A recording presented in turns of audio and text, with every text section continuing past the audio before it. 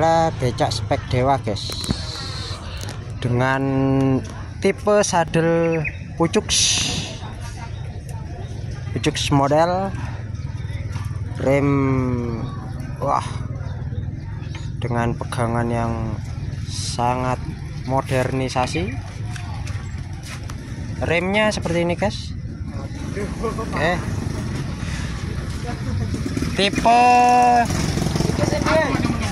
tipenya itu sangat keren guys. Nah rantainya algoib rantai algoib dengan belakang tanpa gear. Wah sangat. Ngeri guys. Tiada tanding. Nego pemiliknya sangar.